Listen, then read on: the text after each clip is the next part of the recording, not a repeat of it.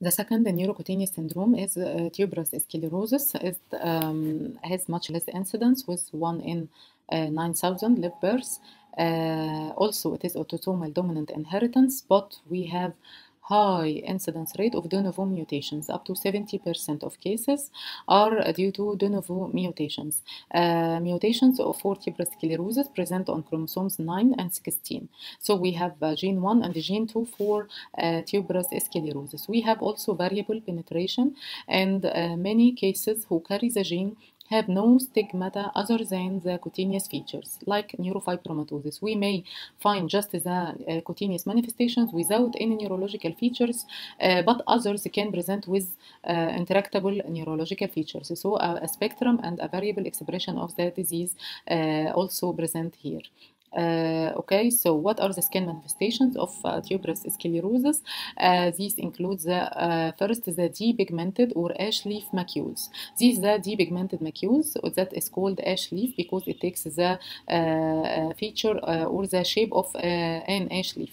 Um, Woods light can differentiate these lesions from other skin lesions. This is very important, frequently asked um, condition and question. And Woods light is one of the the um, workup okay for a child with developmental delay. Uh, the second cutaneous lesion is the shagreen patch. Okay, this uh, uh, this is the shagreen patch. Okay, usually one patch of roughened skin uh, that is uh, present uh, commonly on the lumbar area of the back. Okay, then we have also adenoma sebaceum. This is the adenoma sebaceum. Uh, lying uh, which uh, which is an angiofibroma okay present in the butterfly area of the face okay in the nose and the cheeks like that okay so these lesions that can uh, increase the attention for a neurocutaneous syndrome. Ash leaf uh, macules, shagreen patches, and adenoma sebaceum. Uh, other skin manifestations that can be present is the subungual fibroma. This is the subungual uh, fibroma can be uh, present also in association with tuberous sclerosis. Other organs can be affected, other the skin and the nervous system include the heart by the cardiac rhabdomyosarcoma. So um, echo monitoring for these cases is indicated. Also kidney can be affected by angiomyolipoma or polycystic kidney. And if you remember, tuberous sclerosis was one of the differential diagnosis of uh, cystic kidney disease. Also, retina can be affected by retinal hamartomas and the fundus examination can uh, detect. Uh, so we have taken the cutaneous manifestations, other manifestations, and now what are the neurological manifestations? Uh, uh tuberous sclerosis, okay, associated with the presence of cortical uh, tubers in the brain. This appear in in MRI that shows the characteristic cortical tubers of the Uh, uh, tuberous sclerosis based on its anatomical uh, site and the size and the pressure associated pressure effect will be the manifestations. maybe um, um intractable form of epilepsy as infantile spasms that present in during the late infancy period resulting in developmental delay and the developmental regression. Um, this is characteristic for tuberous sclerosis. Other forms of epilepsy that can be benign or can be uh, intractable often focal due to the pressure effects of the cortical tubers. Intellectual disability also often present associated with autism or autistic feature.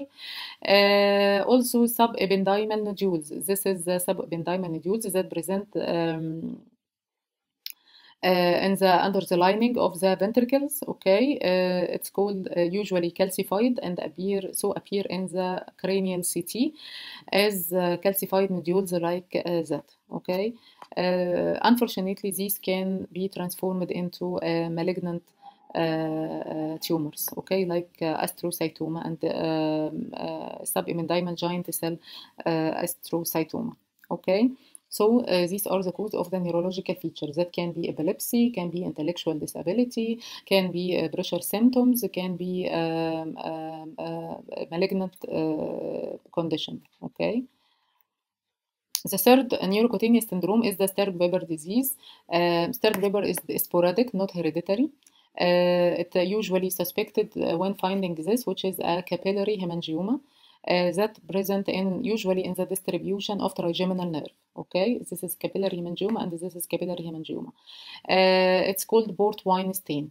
Okay, once you uh, find this capillary hemangioma, you should search for associated meningeal angioma. Okay, meningeal angioma on the same side, ipsilateral leptomeningeal angioma.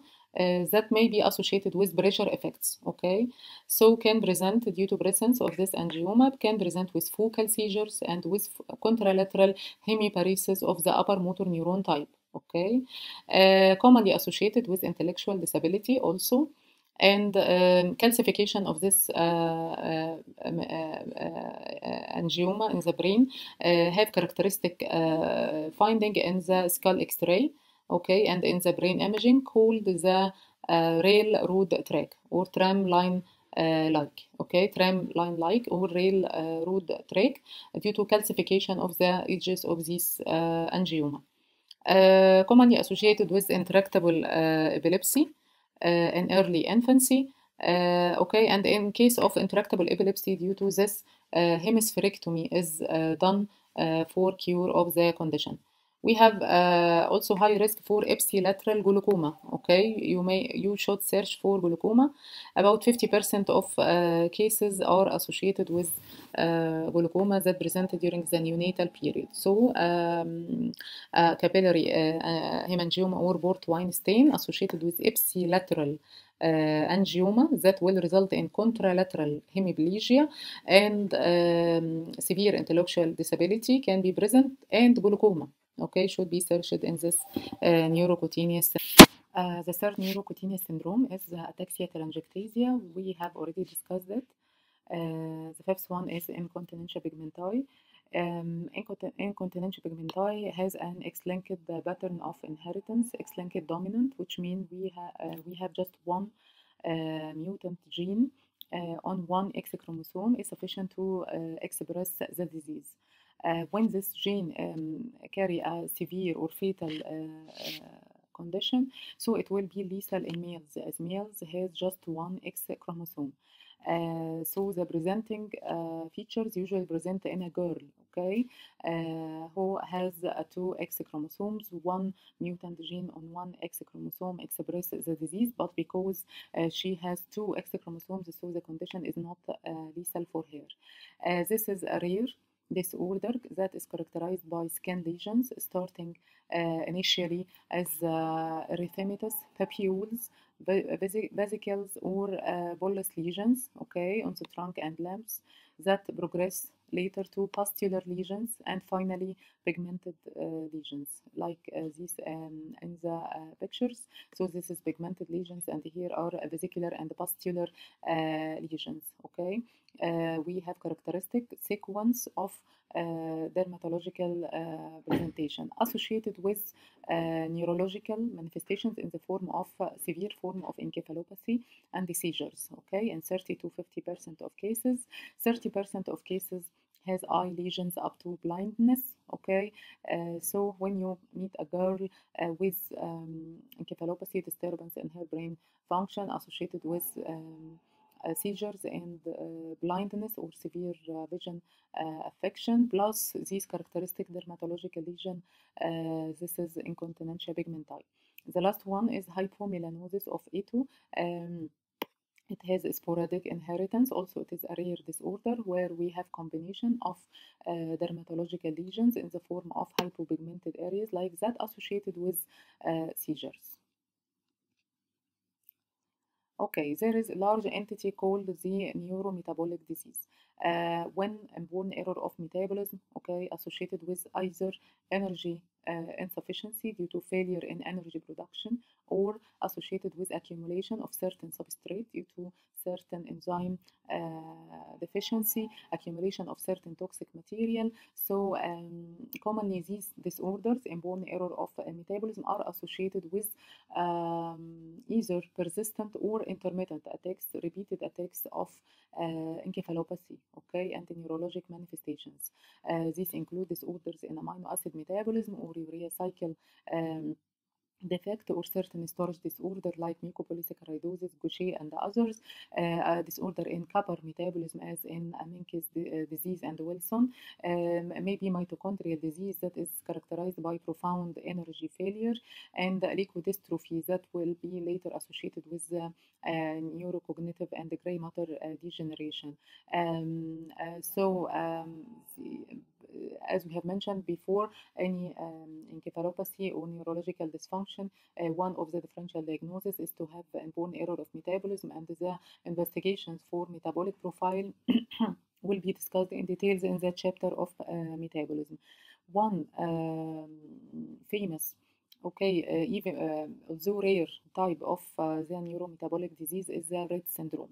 Rett syndrome is one of the gray matter neurometabolic uh, diseases that is genetic, associated with um, the famous gene mutation MECP2, okay, where uh, uh, also it has X-linked dominance pattern of her inheritance again, okay, uh, again one X chromosome um, having one mutant gene is sufficient to express the disease, and this is another one, another condition lethal for males okay?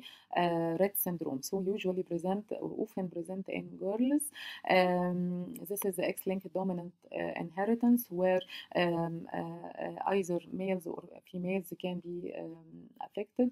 Um, it is dominant okay? Not associated with consanguinity. And has this vertical pattern okay? Rather than the horizontal pattern of inheritance. Um, in this family we can see that both females and the males males are affected uh, when the disease is not lethal. For example, we have uh, the X-linked hypophosphatemic rickets. Also, it is uh, an example of uh, X-linked dominant inheritance, but the disease is not lethal, okay, not fatal, so can present in both males and females. Uh, other conditions uh, like Rett syndrome and incontinentia pigmenti, the gene is lethal for males. Um, characteristically, a female can transmit the disease to her daughter and her son. uh, as she gave both X chromosomes, while male okay male cannot transmit disease to his son as um, it is x-linked okay not y-linked so we have X-linked dominant uh, condition, lethal in boys, where uh, we have a girl who has nor who had normal perinatal period uh, with normal first year of life. This is characteristic, and then in the second year of life, okay, or at the age of nine months of age, characteristically, deceleration of head growth will start, resulting in uh, acquired microcephaly. We have normal head circumference at birth and during the infancy period, but in late infancy, uh, deceleration of um, head growth due to, due to deceleration in brain growth, okay, due to the uh, MECP2 gene mutation. Uh, and regressive manifestations uh, will uh, start in the form of dementia, autistic features and the girl, and motor stereotypes. The most common motor stereotypes and by stereotypes we mean repetitive behavior repetitive similar behavior okay? Uh, the most common motor stereotype in these girls is the hand wringing movement okay? This is very uh, famous question in the exam okay? So usually it is a clinical diagnosis okay? Characteristic clinical features but mutation analysis for the MECP2 mutation can be done brain tumors. Brain tumors are the second most common tumors in childhood after uh, leukemia. Okay, brain tumors can be seen in the posterior uh, fossa commonly, or can be a supratentorial uh, uh, uh or in the anterior fossa. Uh, astrocytoma. This is a histological diagnosis that is the most common diagnosis of brain tumor. Okay, so in posterior fossa, the most common tumor is the astrocytoma, especially the cerebellar astrocytoma. Astrocytoma in the cerebellum can be in the hemispheres, so can present laterally like that, or can be in the vermis presenting centrally. So either central or lateral.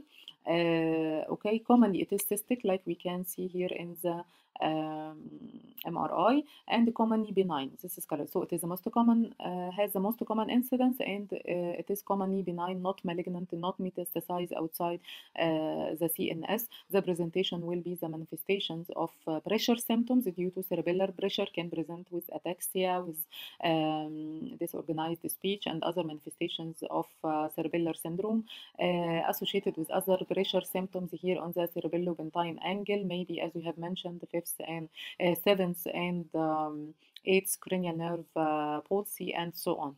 Um, this is uh, cerebellar astrocytoma. The other one in posterior fossa tumor is the medulloblastoma, but unlike um, uh, astrocytoma, it is highly malignant. It has a tendency to metastasize through the CSF, okay? Either metastasize um, inside the central nervous system, okay? Uh, uh, uh, whole brain and spinal cord, or even to outside the nervous system to the uh, distant areas in the body. Usually it presents in the cerebellar vermis, so it is usually central like uh, that. Okay, it's malignant, usually solid rather than uh, cystic, and the treatment will be in the form of surgery, usually followed by radiotherapy due to the malignant nature of the tumor. Uh, supratentorial tumors now, okay, can be, these are histological diagnoses, astrocytoma, ependymoma, optic glioma, or craniopharyngioma. Okay, so craniopharyngioma, a famous condition, especially with endocrinologists, pediatric endocrinologists, due to the presenting endocrinological manifestations. Okay, this is the uh, sella turcica. Look at this MRI here. This is uh, brain stem. Okay, cerebellum here, and in front we have here this uh, groove, this bony groove. Uh, that is the sella turcica. Uh, let's see what are the boundaries of sella turcica. If this is the bony groove here in the skull that is called uh, sella turcica in front of the uh, brain stem, downward here we have the sphenoid uh, sinus. Inside the sella we have the pituitary gland hanged by the pituitary stalk to the hypothalamus. Okay, the roof of sella turcica is formed by optic chiasm characteristically. So we have here bony groove called the sella turcica in front of the brain stem. Down we have the uh, downward we have sphenoid uh, sinus. Uh, inside we have the pituitary gland hanged by the pituitary stalk to the hypothalamus and roofed by the optic chiasm. So having a tumor here, okay, uh, uh, okay, uh, arising usually from the embryological remnants of Rathke pouch is called the craniopharyngioma. This can be suprasellar, uh, subsellar or can be uh, intrasellar okay? And often it is cystic but can be solid like that. And um, usually the manifestations uh, usually not metastasize outside the CNS but the presentation usually by the manifestations of increased intracranial pressure in the form of morning headaches blurring of vision projectile vomiting especially in the uh, morning and and so on associated with pressure symptoms. And usually the first uh, uh, organs affected by pressure will be the pituitary gland and so the presentation with endocrinological manifestations due to deficiency of pituitary uh, gland hormone or sometimes excess secretion of pituitary hormone. So delayed growth due to growth hormone deficiency, hypothyroidism central due to TSH deficiency, diabetes insipidus due to um, uh, antidiuretic hormone deficiency. So a survey of hormonal deficiencies in the pituitary gland should be done. We should measure the level of ACTH, TSH, gonadotrophins, FSH and um, LH, and growth hormone, also the antidiuretic hormone based on the clinical uh, setting of the patient. Okay. Uh, fundus examination will show uh, papilledema and optic nerve changes due to pressure on the optic uh, chiasm and characteristically visual field will show the characteristic finding of bitemporal hemianopia. This is a characteristic visual field defect associated with cranio, craniopharyngioma due to optic chiasm uh, pressure or compression. Uh, surgery to remove the tumor, followed by radiotherapy, usually the uh, treatment, followed by long, lifelong hormone replacement, okay, based also on the clinical setting and the deficient pituitary hormones.